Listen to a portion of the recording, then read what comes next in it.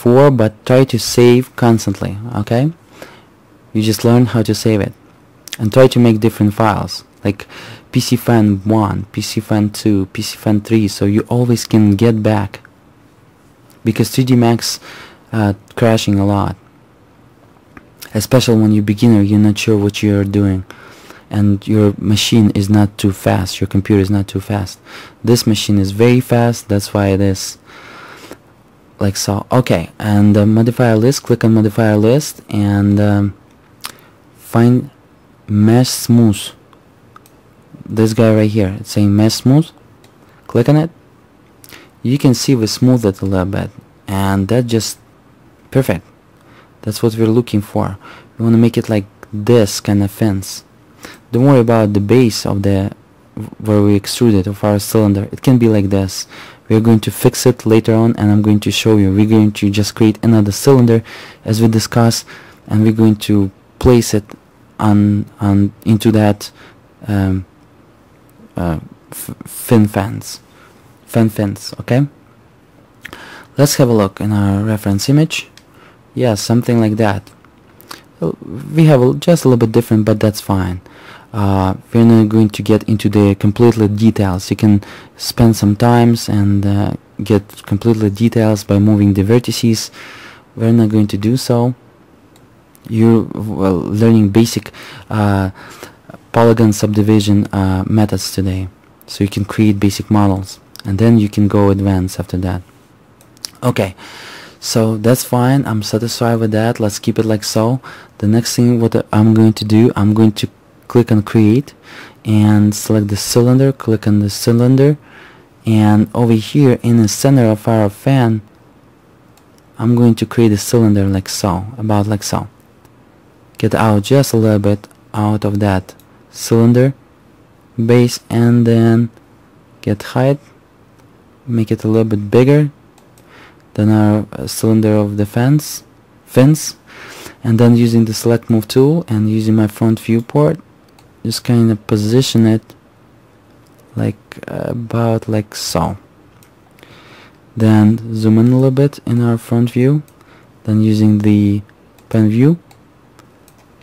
And zoom in again I'm using my third mouse button you can use this zoom uh,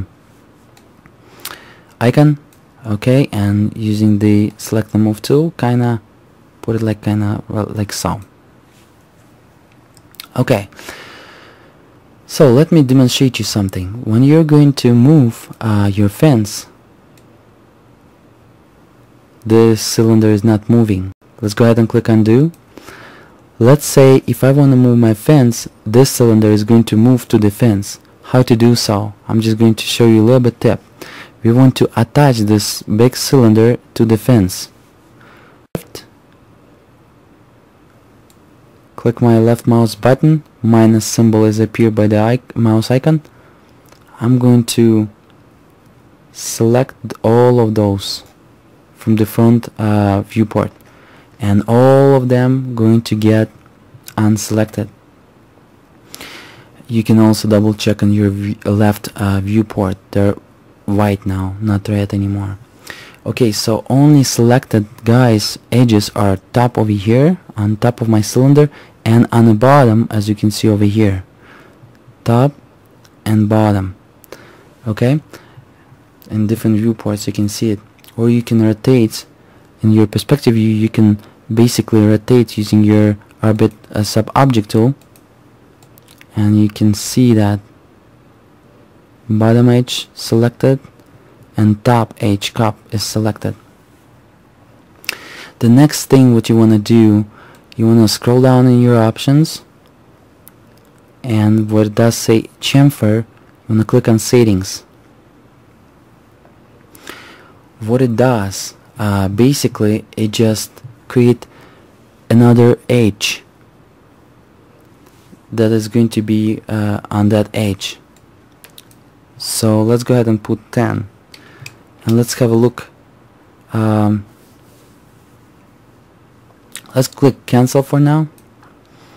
Let's use the zoom tool and zoom in in our perspective. So you're gonna see what we're doing and kind of position it with the pan view. So you can see the top. It's going to do this chamfer to the top and to the bottom. Exactly what we were looking for. Click on the chamfer settings. Like see and you can see it's adding some extra edge and let's let's let's say 2 and click enter.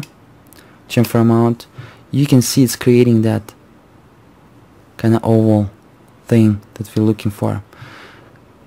Segments. If you want to say one it's going to just one edge extra. If you want to say two and click enter on the segments you can see it's created three edges.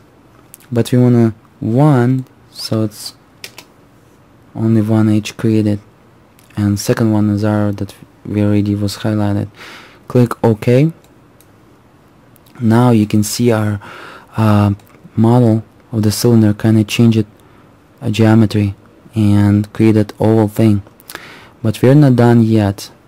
What we want to do next go ahead get to the top of our option and click on a polygon click on that icon and um, to do we want to click this in our perspective view on this polygon here once then using the orbit sub object tool kind of get to the bottom and select the bottom part as well holding the control button. So 2 is selected double make sure that 2 is selected. Using the orbit sub object tool you can rotate your camera view 2 is selected. Nice now what we want to do we want to switch to the right uh, to the top uh, viewport right click mouse button on it and using the scale and uniform tool you want to use the small yellow triangle. Just put mouse uh, over it and you can scale it as you can see. Like by so okay? Now uh, what we're going to do let me teach you how to work with the vertices. You can also scale it not the polygon but you can scale those inside vertices. Let's go ahead and click on vertex mode and zoom in our top viewport using the zoom tool. There's a vertices. Let me make it bigger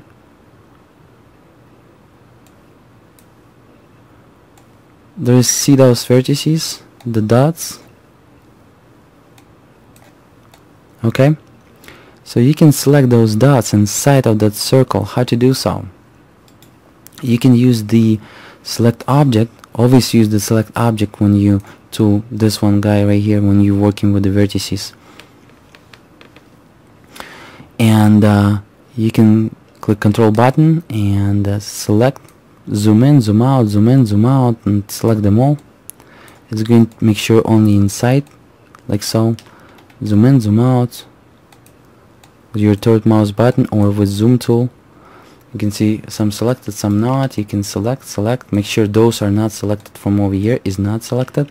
So alt button if you select it accidentally hold it and then move mouse deselect it.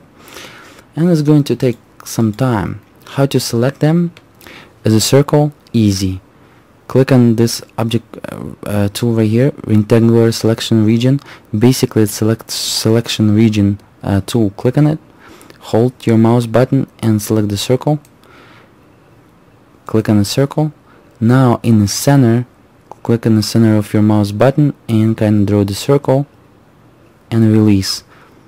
And just because it wasn't imperfect where we wanted kind of select those uh, vertices. You can deselect them or you can draw it again. Just click somewhere it's going to deselect. If you're going to click somewhere in your 2D space it's deselecting your selections. So be careful with that but you can always undo if you accidentally did it. But I don't want to undo so I'm going to deselect and kinda in the center draw the circle like so I have some vertices over here selected. Let me zoom and show it to you. I'm going to deselect it. Just one. This guy right here. So I'm going to use the alt tool and make sure I'm using the select object tool. Then I'm going to hold the alt button and kind of deselect it. How to get back to the square selection?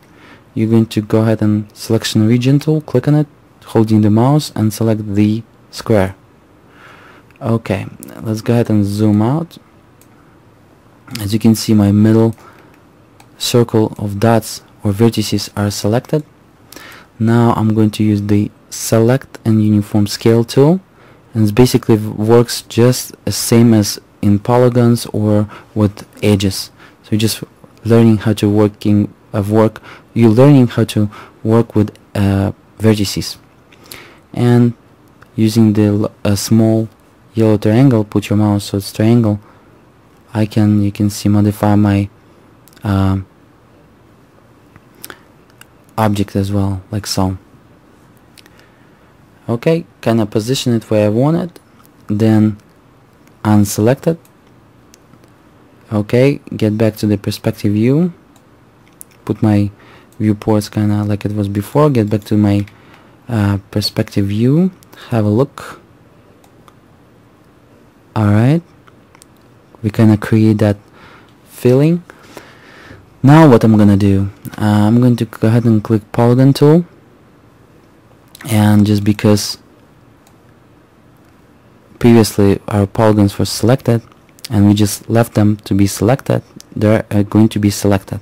If they are not selected you can click somewhere and it's going to deselect them. If you will use the select object tool click somewhere deselect polygons deselect the edges deselect the vertices and then click on the top polygon. Let, let me show you again how to select those polygons using the our orbit uh, sub-object tool. Rotate our camera view and select the bottom. Okay get back to the top and uh, I use the control button to move to